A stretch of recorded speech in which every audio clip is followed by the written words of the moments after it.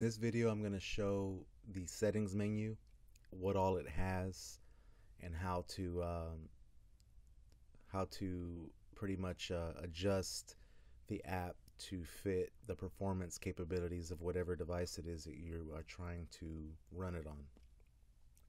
So inside the main home screen here on the app, you see a row on top next to the date. Here you can look at your account details, see when your expiration date is, how many connections you're allowed to have, and your account status. Here is the settings.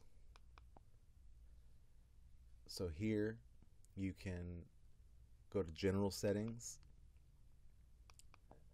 and you can change things like subtitles and by default it's set to auto start on boot up. So every time you you restart your device this is going to be the first app that pops up automatically. You can turn this off by unchecking it and then going to save changes. Then it won't automatically boot into this app upon the first boot up of your device. Here you can change your parental control. Enter your password create one to start off and then go in and then you can go to the whatever category you want to disable. So any adult click OK on it or touch it and then lock it.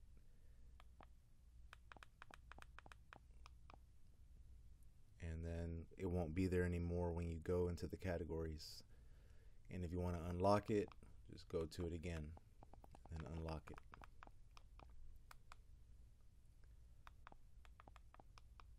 you don't have to save changes it's just back out and it goes.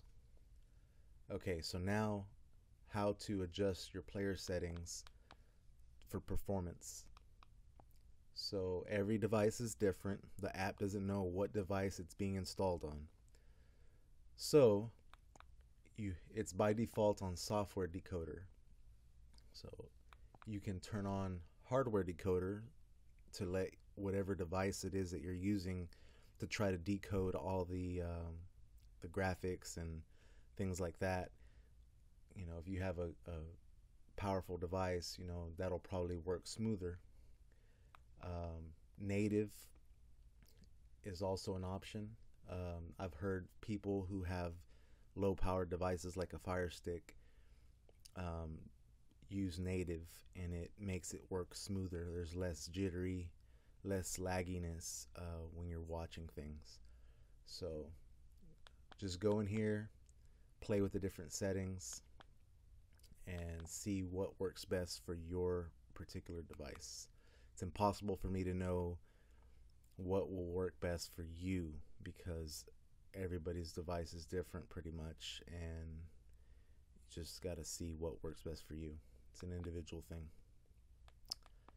Player selection you can use outside video players that you download from the store. Um, MX Player is a very high quality player. Um, the picture looks a lot sharper, uh, more proportionate, and just very clear. And so, if you want to download that secondary player, you can do so, and you can choose it to be the um, choose it to be the main player by default and then save the changes. And if you don't already have it on your system, you can download it from the store. Or when you actually go to a channel, you can hold down your finger on the channel.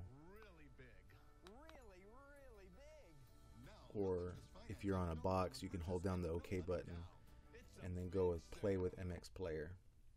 And if you don't already have it, it'll tell you do you want to download it. So.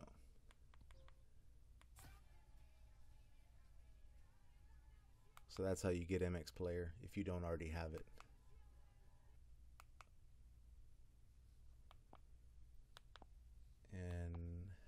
That's pretty much it for things that people would need in the settings menu. Um, there's not really much that has to be messed with in here other than those things that I've already mentioned. So that's pretty much it. Those are the basic things that people would need in the settings.